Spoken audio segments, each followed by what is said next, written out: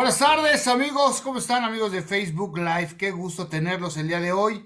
Un placer saludarlos, esperando se encuentren muy bien. Otra vez estamos al aire y en vivo con el gusto. Hoy tenemos doble gusto aquí en este programa de Conociendo Personalidades. Por un lado, porque hoy es el Día Internacional del Actor y de la Actriz.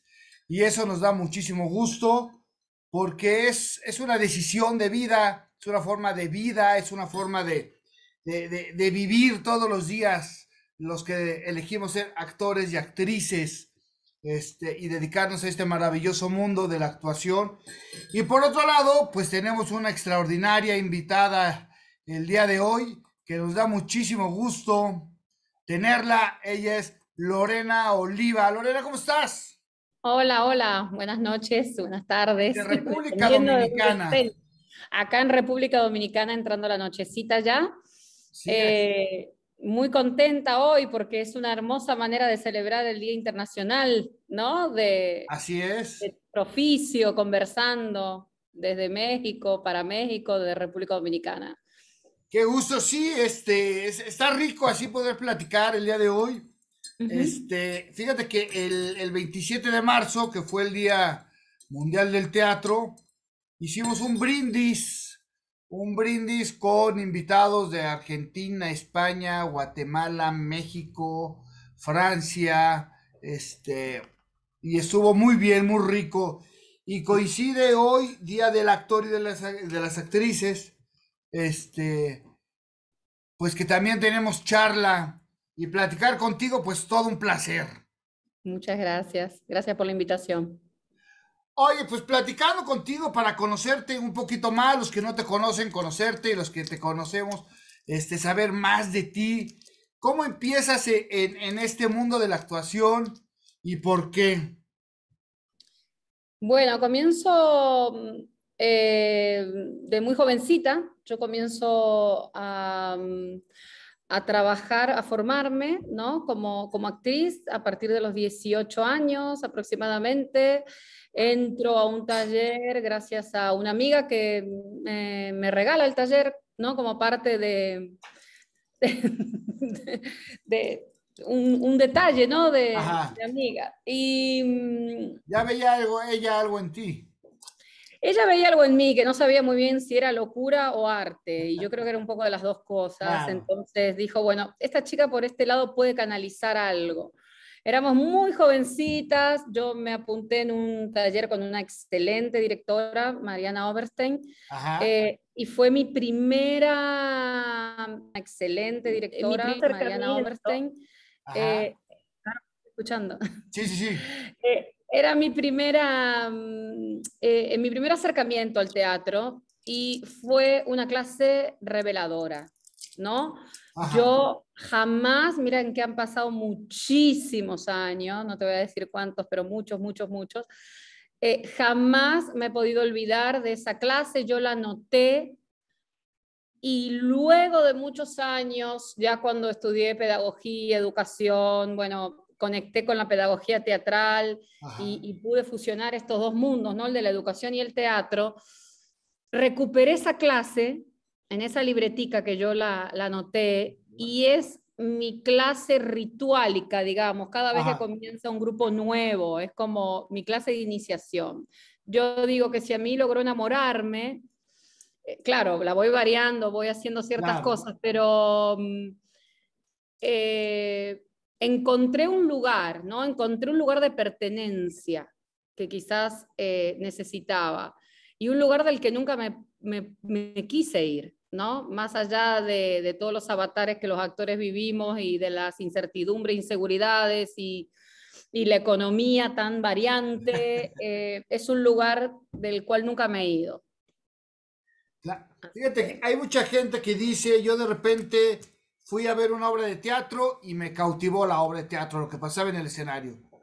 Pero a veces, en, casos como el tuyo, es, es, es alguien, una persona que te da una clase, que te da una enseñanza y que te deja marcado, ¿no? O sea, qué importante es ese primer encuentro con, con, con esa persona que algo te dice, que algo despierta en ti Y que dices, no, pues de aquí soy. Sí, inclusive, bueno, después, claro, una vez que ya entré al mundo del teatro, empecé a ver teatro de otra manera y me acuerdo muy claro una obra de teatro que eh, fui a ver con esta misma amiga que me anotó. Em, y era una obra infantil de Hugo Midón, un, gran director y dramaturgo, creador para mí del, del, musical infantil en Argentina, con una estética y una, y una poética muy marcada, ¿no? Decir un Hugo Midón es como, tiene una impronta muy fuerte para nosotros los argentinos.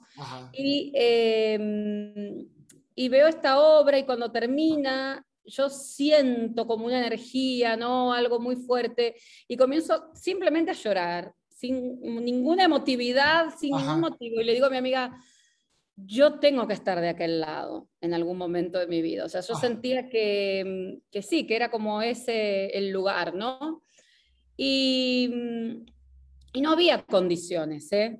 No, no, no, veníamos de una familia de artistas, no había, no había eh, viento a favor, como a veces, bueno, yo me crié en un ambiente intelectual, dicen algunos artistas, o mi familia siempre me llevaba al teatro. Yo las tenía todas en contra.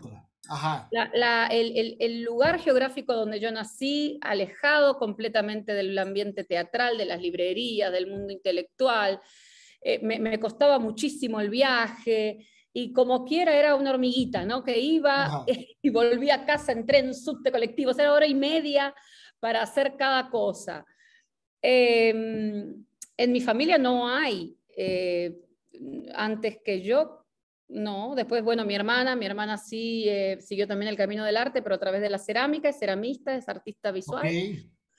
Eh, yo creo que encontró un poquito el camino más allanado, o por lo menos algunos libros en la casa, porque mi casa era realmente artísticamente muy desértico.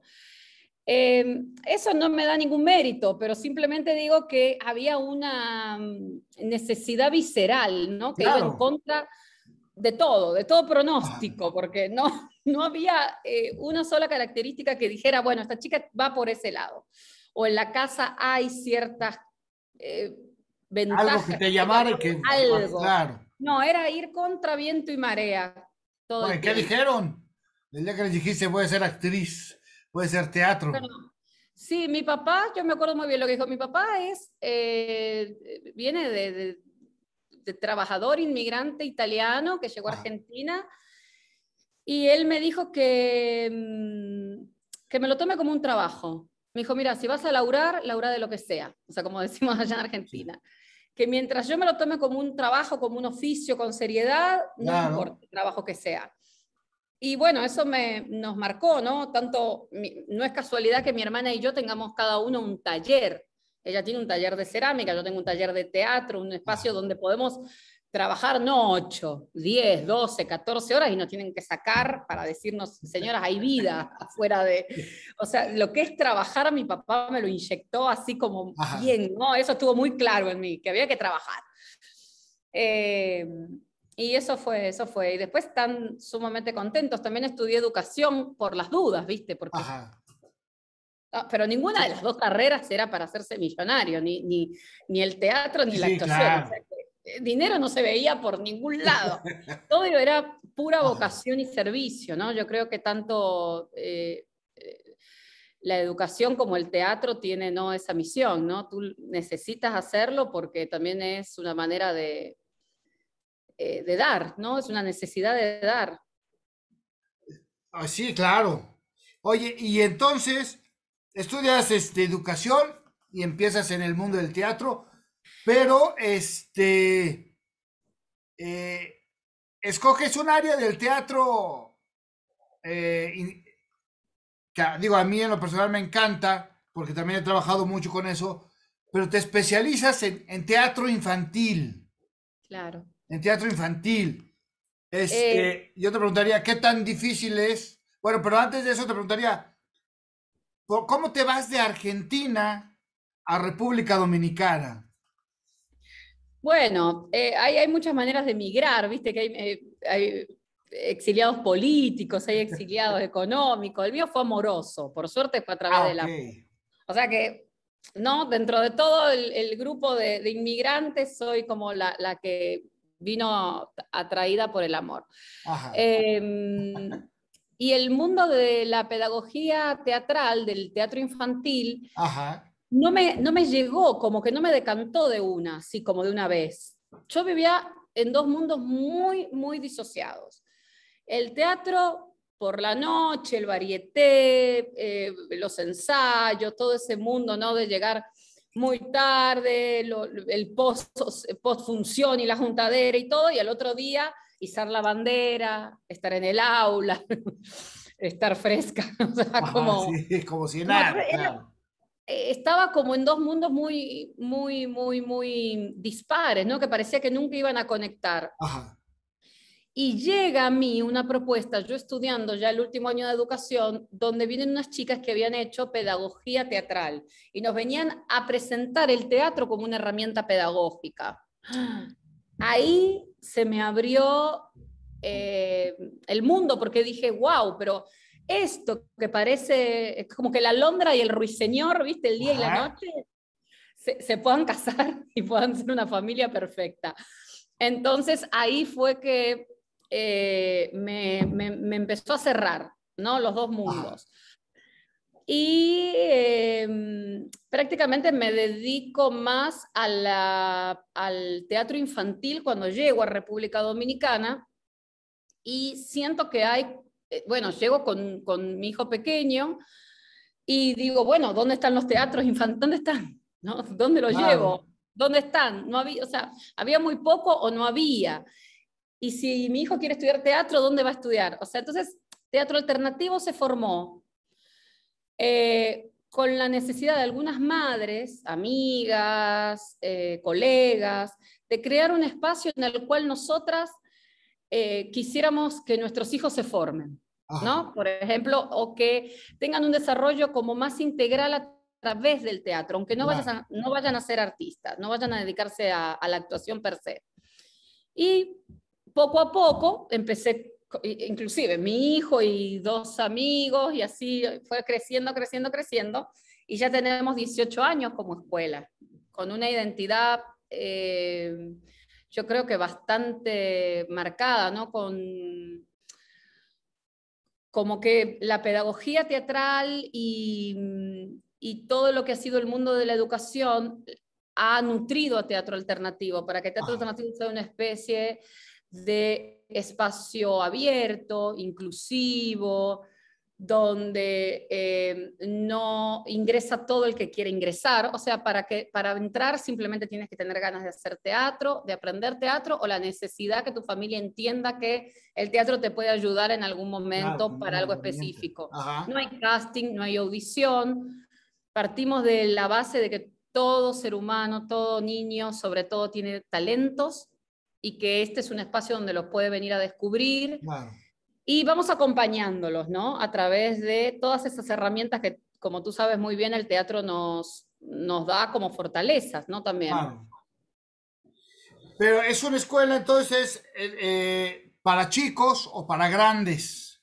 Bueno, comenzó siendo una escuela para niños y adolescentes, ese era el fuerte. Yo no me atrevía a dar clases para adultos, pero los adultos empezaban a preguntar a los chicos que por qué salían tan felices y qué pasaba acá adentro. ¿No? ¿Qué pasaba acá adentro? ¿Por qué quieren volver siempre? ¿No? Era como un misterio. Y acá adentro pasaba la magia y una magia que después fui entendiendo que también los adultos necesitaban. Y, claro.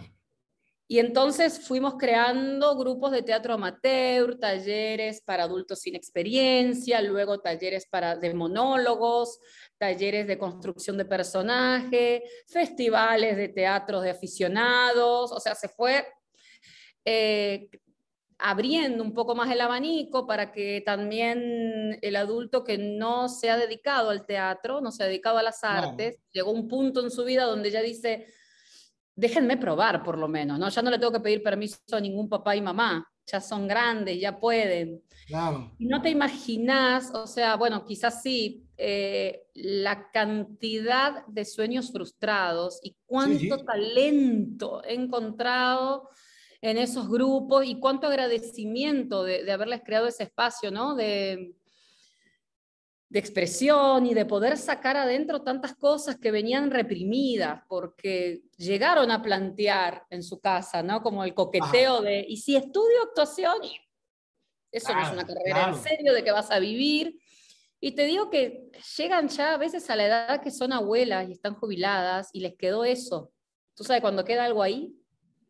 Sí, sí. Que no llega como a, a sacar Mm, y, bueno, la, vida de, pedagoga, de, maestra, me ha, me ha dado muchísimas satisfacciones. O sea, amo crear, amo escribir, amo actuar y, siento que toda la vida lo haré, pero eh, lo que me sucede con la docencia es todos los días un poquito de, ¿no? Como que recibo eh, todos los días un poco de gratificación y de, y de sentido, como que le da sentido a, todo, desde venir hasta acá, desde este viaje que hice por un tiempo y duró casi 20 años, a, bueno, a, apostar, ¿no? A que una familia entera como la nuestra, tengo dos hijos, mi pareja es músico, em, apostar a vivir, ¿no? Para y por el teatro todos los días, o sea que es una apuesta diaria aquí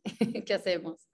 Oye, ¿y qué tan complicado es trabajar con niños y, para niños?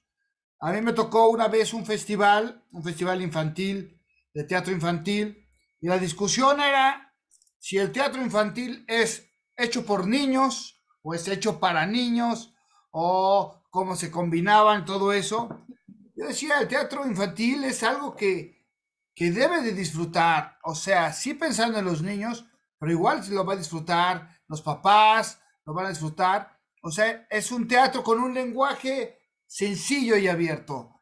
Para ti, ¿qué es, qué es hacer este teatro infantil? Sí, bueno, son dos cosas muy diferentes. En el caso de nosotros producir espectáculos para público infantil, siempre tratamos de ser más abierto y tratar de que sea un espectáculo para toda la familia, ¿no?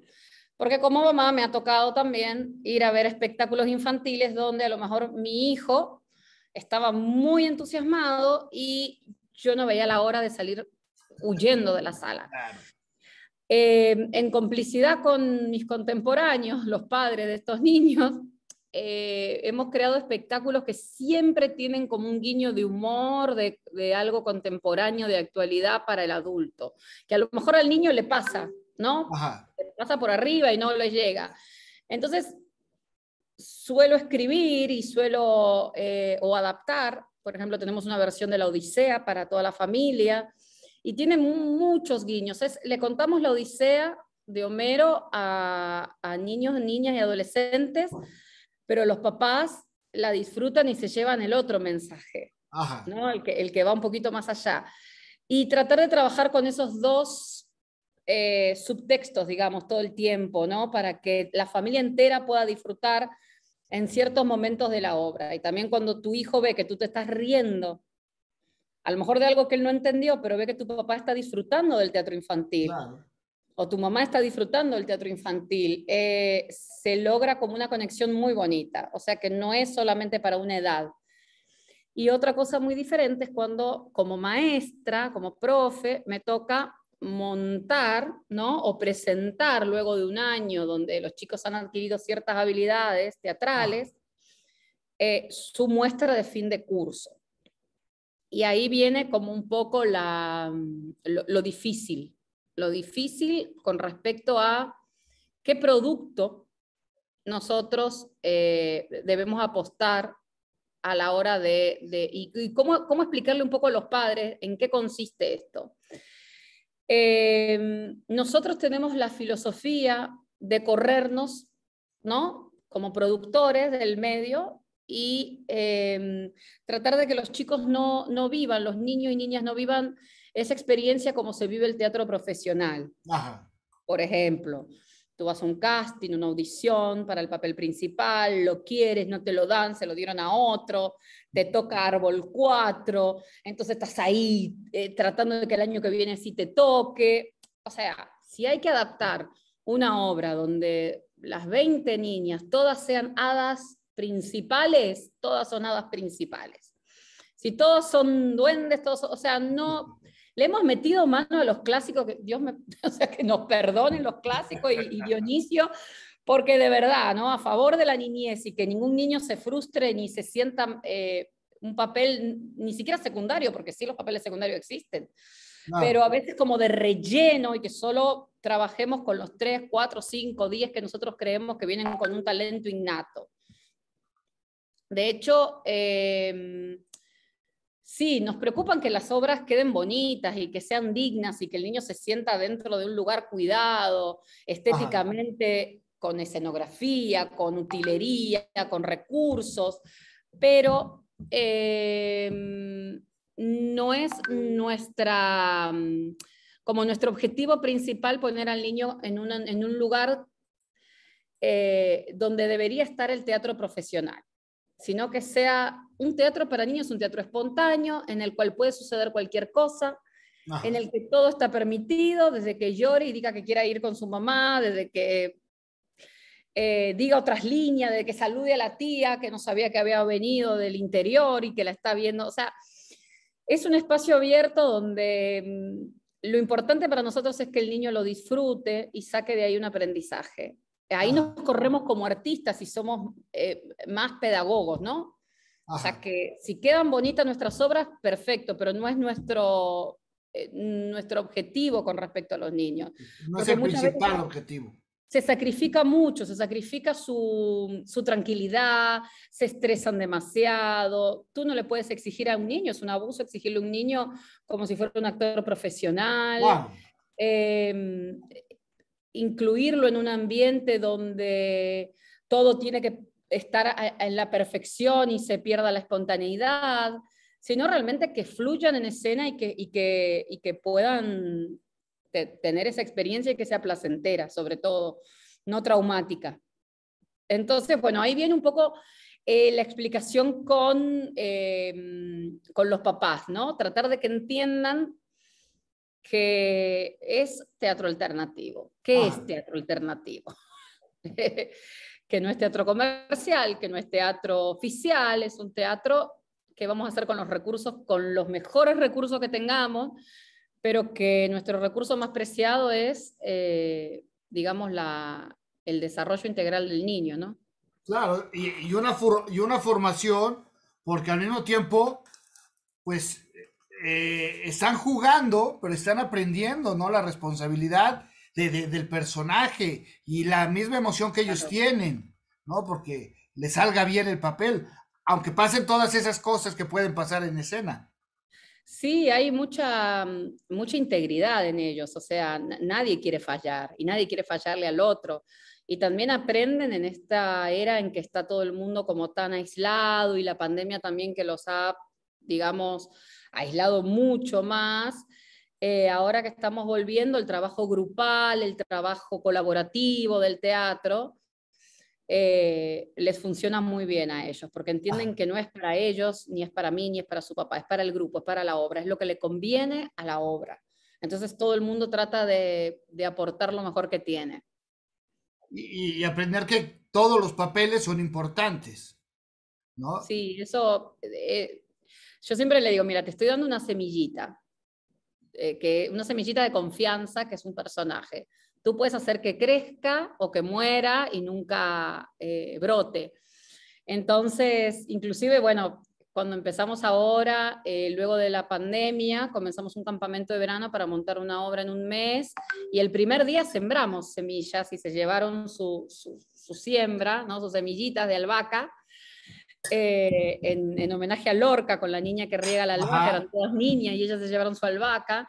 Y ahí, bueno, yo les, les hice como esa, ese juego, esa metáfora, ¿no? Digo, te estoy dando esta semilla que es el personaje y va a crecer según tú lo cuides. Pero no hay, no hay una planta que puede ser más pequeño o más grande que otra, o sea que... Claro. Eh, Oye, ¿cómo combinas todo esto? Porque eres maestra, eres directora de las mismas obras, eres, este, eh, eres actriz, escribes. ¿Cómo te organizas tú para combinar todas estas áreas? Eres la directora de la escuela. Eh, ¿Cómo te organizas? Bueno, a veces quisiera organizarme más, pero a veces hago todo junto y a la vez. Em, e, es difícil, es difícil porque mm, eh, me gustaría tener siempre más tiempo para mis propias creaciones, ¿no? para, mi propio, para mi propia actriz, para entrenar más, para estar más eh, conectada con, con, la creación. Eh, pero entiendo que mm, la escuela es por donde canalizo toda, toda mi energía, ¿no? A partir de ahí yo puedo escribir, adaptar, dirigir, motivar también, alentar, dar esperanza y es la misión que nos tocó, qué sé yo, es, es como el lugar.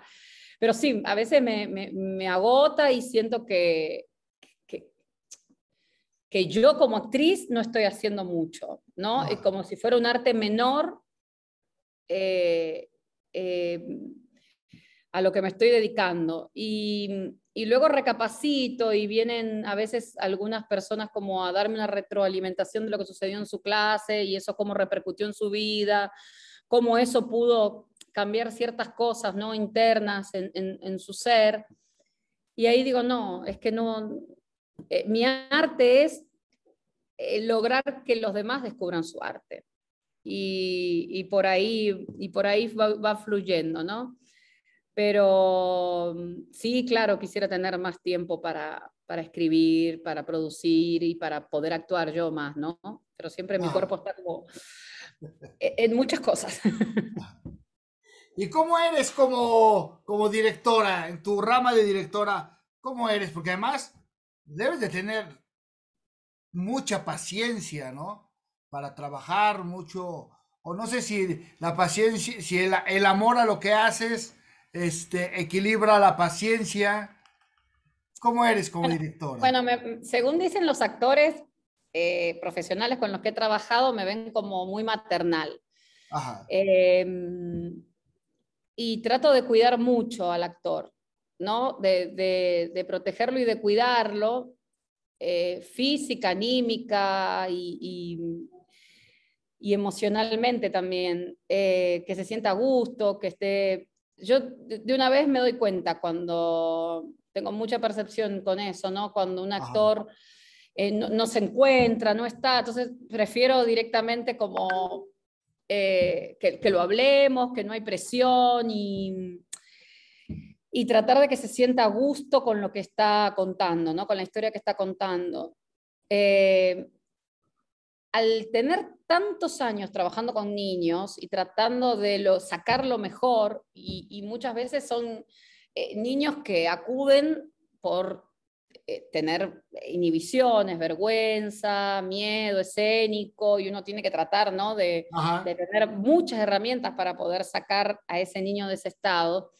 Siento que ahí voy como con una carreta, ¿no? Como cargando una carreta que, bueno, a veces pesa más, a veces pesa menos, a veces va más liviana.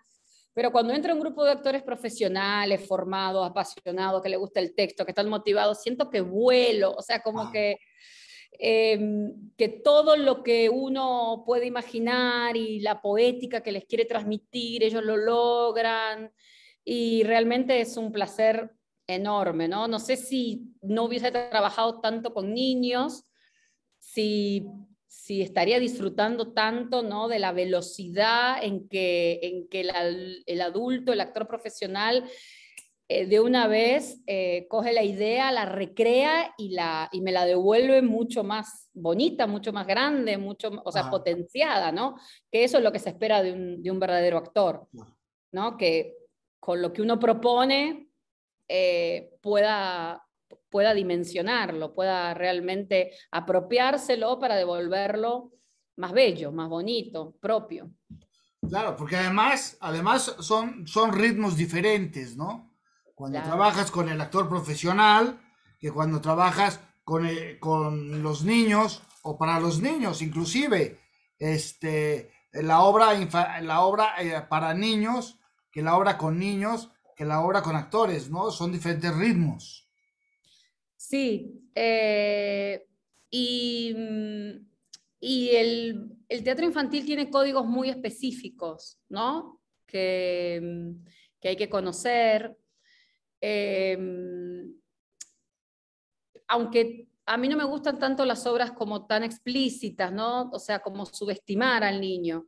Claro. Eh, generalmente tratamos de no pensar que es un público infantil, para nosotros no infantilizarnos. Y cuando veo un actor en esa, en esa tesitura, de repente lo, lo meneo y digo, no, no, no, espérate, no. O sea, no, este niño no hay que darle todo esto así servido, hay que, hay que dejar que su imaginación vuele. Y me gustan mucho, mucho sugerir con imágenes, jugar con muy pocos elementos, pero que eh, trabajar con actores eh, que, que, tengan un dominio físico y que sean bien dúctiles, que se puedan transformar en varios personajes. Eh, ese juego escénico, ¿no? De, de que con poco, ¿no? Hacemos mucho en teatro, de que no necesitamos todos los recursos, sino que más bien disparadores, ¿no? Un, elemento disparador y un actor entrenado a, poder convertirse en todo lo, que, todo lo que la obra necesite que sea, más que un super elenco y mega elenco. Eh, que los chicos vean cuando van al teatro esa magia, ¿no? Porque para todo lo demás, bueno, está Netflix y está el cine y, y todo, donde está todo ahí.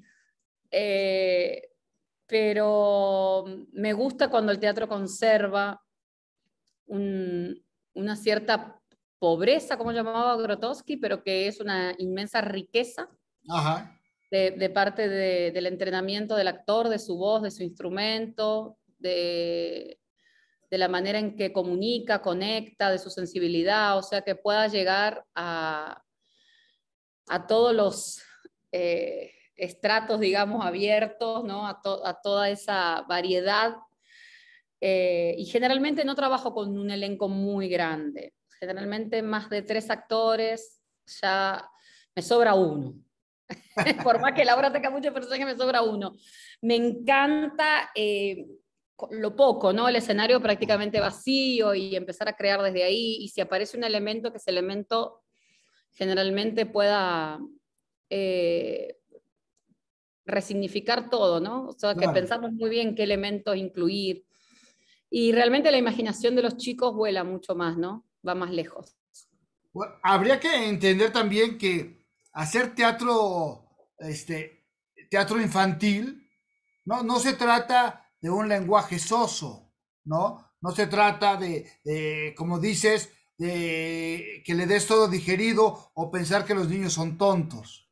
No, al contrario, este, el hacer teatro infantil este, tiene, tiene la, dificultad porque, porque estás con un público muy inteligente que a lo mejor le va a ganar al actor, ¿no? Sí. A lo mejor ya está pensando qué va a pasar antes de que el actor lo haga y tú tienes que eh, ser parte de ese juego, ¿no?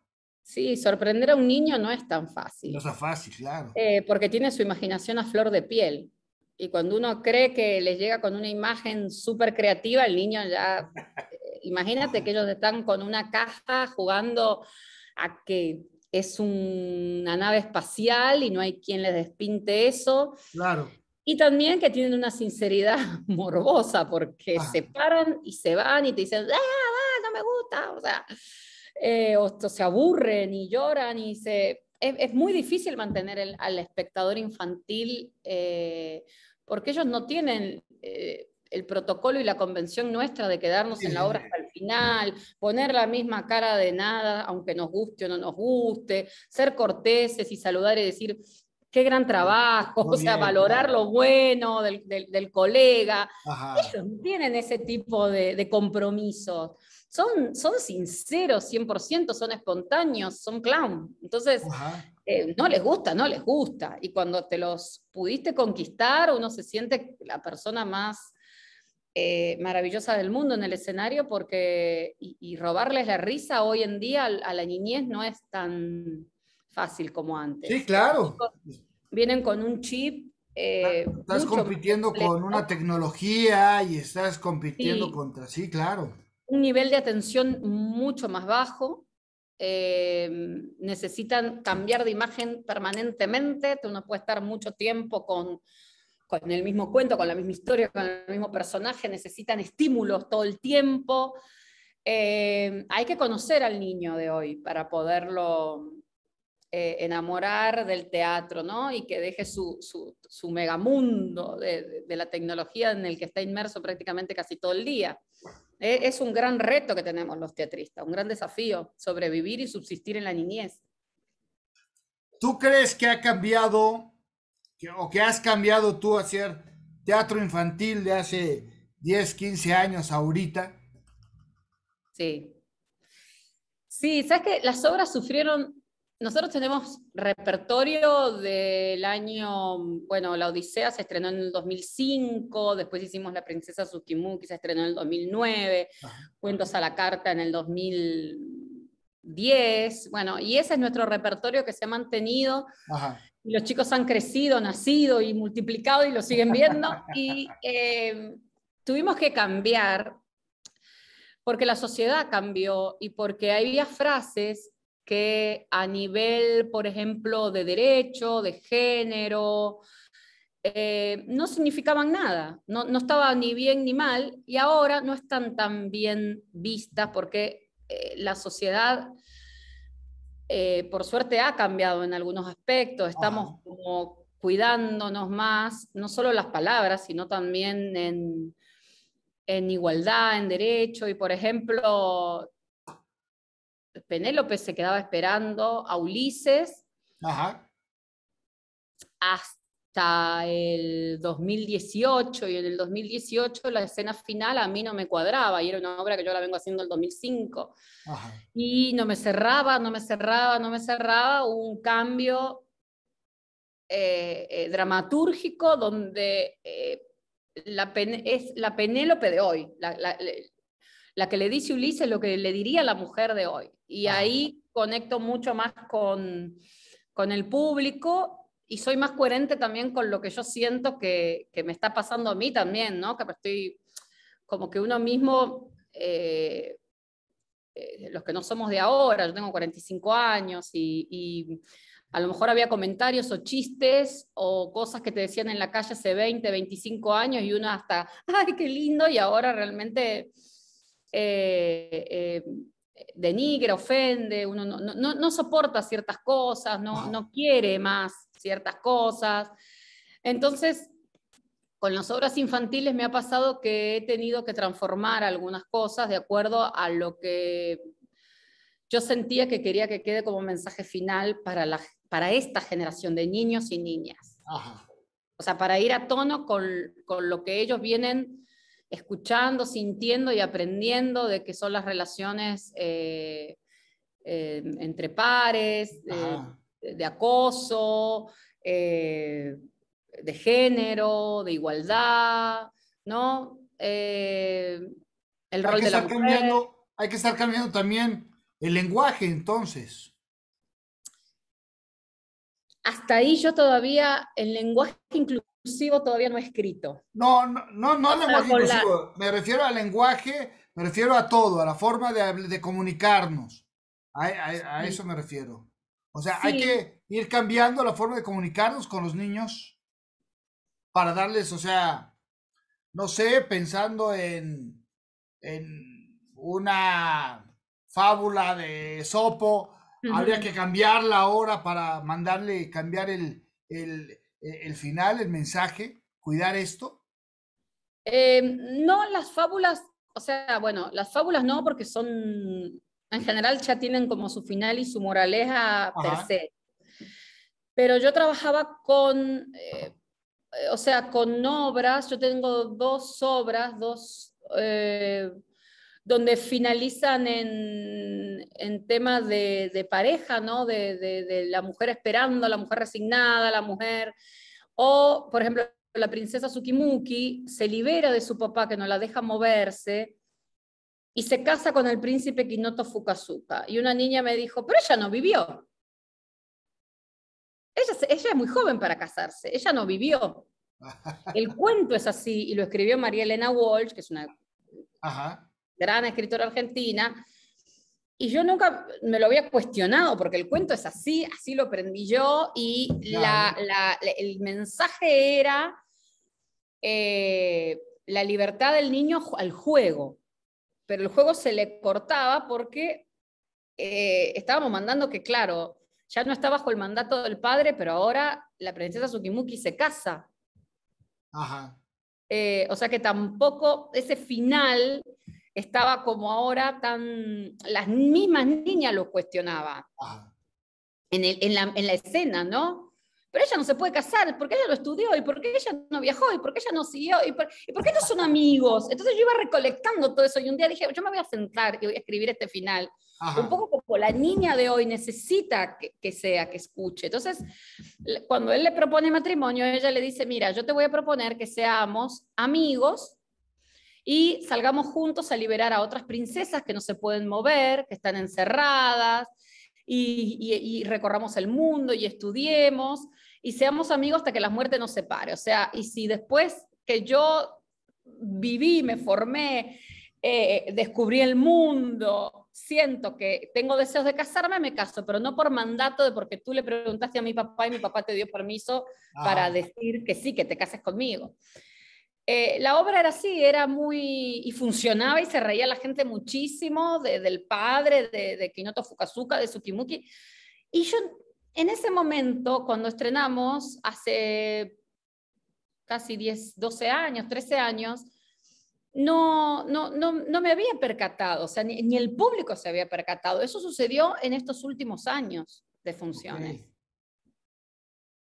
O sea que, que, la misma obra te pide como una, eh, cuando, una actualización, digamos, ¿no? Como actualizar la, las aplicaciones, así mismo, ¿no? Que quede la esencia, pero que hay cosas que pueden ir eh, variando, modificando. Y ahora a la hora de escribir sí es un gran reto para escribir nuevamente una obra que, que contenga todos estos eh, valores ¿no? que queremos claro, que se, se, vayan formando en igualdad y en, igualdad de derechos, sobre todo. Oye, ¿y te gusta ¿Te gusta escribir? ¿Vas escribiendo historias? ¿Te gusta adaptar? ¿Qué, qué se te hace más fácil a ti?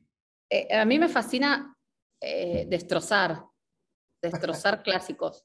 Ajá. Em, me, me, fascina, o sea, yo con la Odisea eh, lo disfruté muchísimo. cómo aterrizaba ese lenguaje, todos esos cantos de Homero, que todavía para algunos adultos es, muy duro, ¿no? Muy, muy fuerte de leer, a un lenguaje llano, cotidiano, a un Ulises que está aquí entre nosotros, a un Telémaco que se queda sin su papá, eh, a, la bruja, Circe, hechizándolo. Entonces, bueno, me divertí muchísimo. Otro trabajo de adaptación que hice, esa obra la interpreto con, eh, es un unipersonal, eh, donde interpreto siete personajes, haciendo un poco un homenaje al teatro, a los comienzos del teatro en Grecia, donde un actor interpretaba todos los personajes, con máscaras, con tocados, es una obra bien visual. Y luego em, me enamoré de Cyrano de Bergerac y em, me pasé muchísimos años como así, un hobby, ¿no? Aparte de todo lo que hacía en el día, que tú te imaginarás todo lo que es, cuando tenía un rato libre, entraba a la computadora y me metía en la adaptación y era como, viste, quien juega, qué sé yo, ajedrez, como que lo hace para distraerse de, su trabajo. Era un trabajo así como, como intelectual, tratar de que una actriz cuente la historia completa de Cirano con cuatro máscaras. ¡Wow! Ajá. Eh, logro la adaptación, la logro, logro eh, conseguir que dos artistas plásticos, Miguel Ramírez y Maya Oviedo, me, me, realicen las máscaras. Y cuando estoy empezando a jugar con ellas, digo, no, eh, esto sin una mirada externa es imposible. Entonces llamo al que yo considero uno de los mejores directores de República Dominicana, que es Manuel Chapuzó, eh, director del Teatro Gayumba, que tiene ya 45 años de trayectoria, y le ofrezco esta, esta loquera de, de adaptación. Ya antes habíamos trabajado juntos en el 2014 en una versión de Juana la Loca, una obra de Pepe Cibrián Campoy. Eh, que disfrutamos muchísimo, una obra que yo le dije, mira, necesito sacudirme el teatro infantil, por favor. Tengo este texto, llévame al lenguaje más adulto que a ti se te pueda ocurrir. No quiero, o sea, y, y, yo me acuerdo que salía en la prensa como que eh, Lorena Oliva también actúa drama no solamente hace clown, o sea, como que, que puede, miren, o sea, salían notas así como, como que yo decía, wow, como unos mismos, ¿no? Eh, sin darse cuenta a veces, manteniéndose en un estilo de trabajo, crea en el imaginario del otro como un estigma. Claro. Que después es muy difícil sacudir. sin quitárselo, claro. Eh, y nada, yo, fue una necesidad interna realmente la de interpretar a Juana, la loca, ¿no? La reina de Castilla, y, pero mm, nunca me imaginé que me iba a servir para que el mismo medio reconociera en esta Lorena Oliva, tan ella, tan, tan maestra, tan mamá, tan, no, tan clown, tan... Eh, la actriz que, que, que, está ahí, ¿no? Que está, que está, pero estaba ocupada muchas otras cosas. Y con Cirano fue un trabajo también muy, muy profundo, porque las máscaras em, tenían la cualidad que se movían como títeres también, máscara, títere, y por momentos yo tenía una en una mano, otra en otra y otra colocada en la cara, y eran tres. O sea, una, una necesidad de concentración. Yo no he vuelto a interpretar Cirano después de la pandemia y yo no sé cuánta concentración a mí la pandemia me ha quitado, pero sería un gran ejercicio retomar ese montaje porque ha sido un reto, de verdad. Con Cirano tuve la suerte de estar nominada como, como mejor actriz en los premios Soberano, que son uno de los premios más, más importantes artísticos de este país. O sea que fue un trabajo que sí, que se ha valorado mucho. Eh, sobre todo por, por esas transformaciones que había. Yo era todos los personajes, o sea, y a la vez una actriz queriendo contar la historia con estos personajes, sobre todo Cirano que se revelaba, que no quería que la historia se, se, contara nuevamente porque él sufría cada vez que... Sí, sí. Entonces era una máscara que no quería entrar a escena. Wow, wow. Eh, y, y, fíjate qué importante es esto que dices, este, y además que es cierto, ¿no?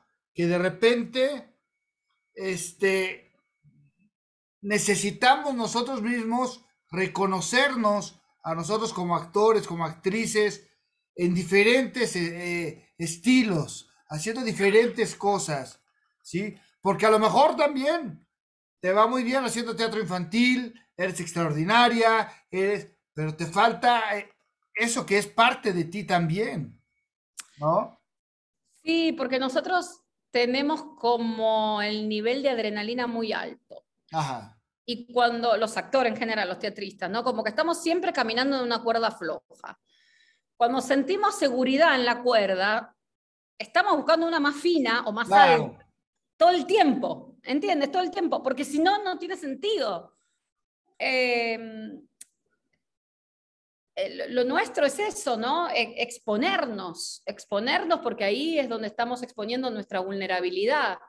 Y cuando ya nos sentimos que estamos manejándonos en, esa zona como de, confort, digamos, de lugar conocido, reconocido, ya no nos sabe a nada. Eh, entonces necesitamos como más, ¿no? Como más reto, más, más desafíos.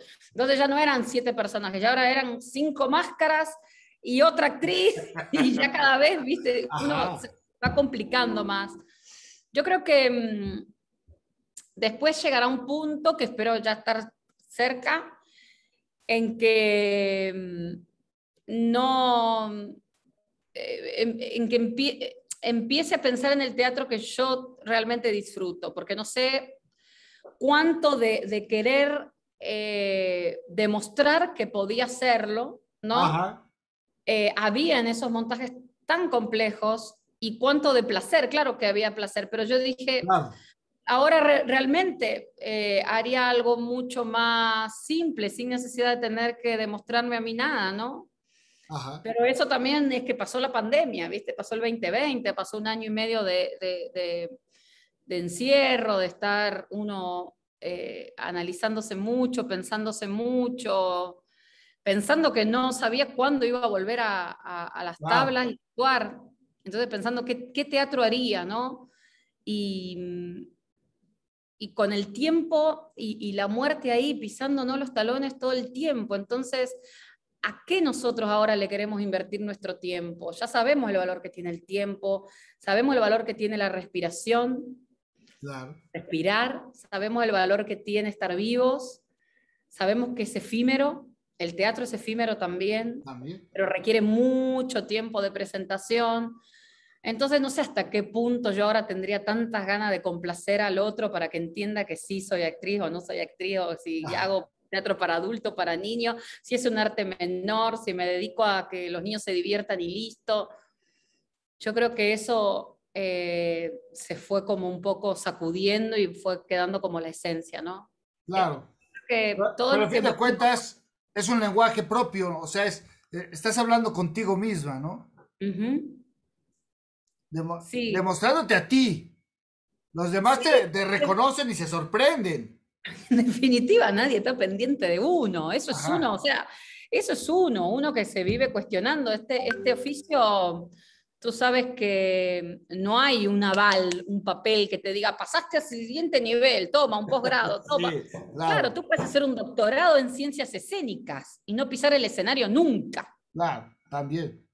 También, Sí, sí, sí. ser un gran teórico y un gran investigador y no, y no, y no haber atravesado nunca por la transición de construir un personaje. Hay muchas maneras de atravesar la teatralidad. Entonces, realmente yo no creo que nadie nos esté exigiendo nada. Es uno que tiene que aprender como a, a, no juzgar, claro.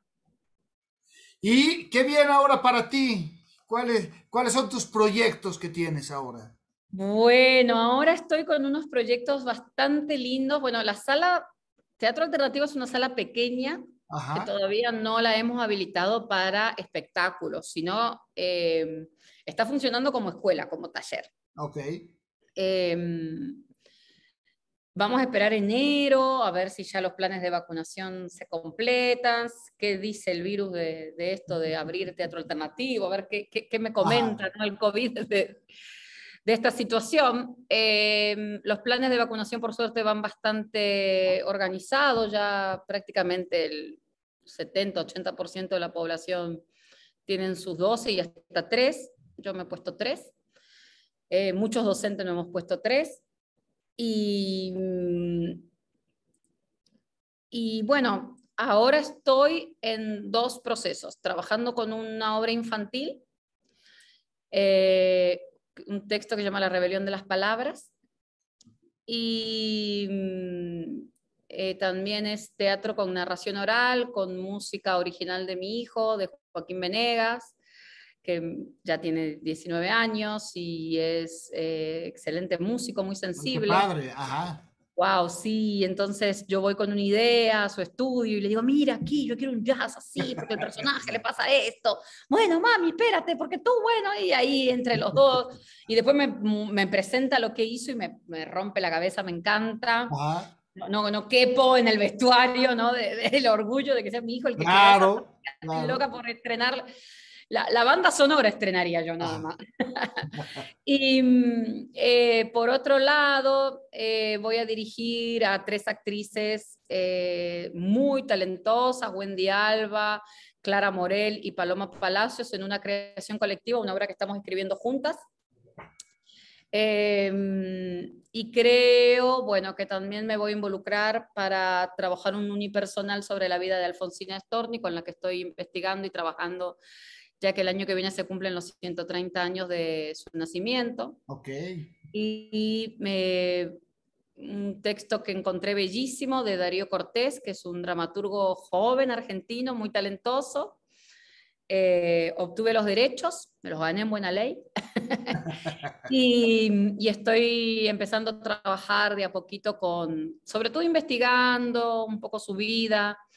Es una versión muy linda porque siempre la, versión que nos llega de Alfonsina es su, suicidio, ¿no? La canción, la misma canción Alfonsina y el mar, que habla de esa despedida, ¿no? De, y, es una obra en donde se reivindica no la muerte, sino la vida de Alfonsina.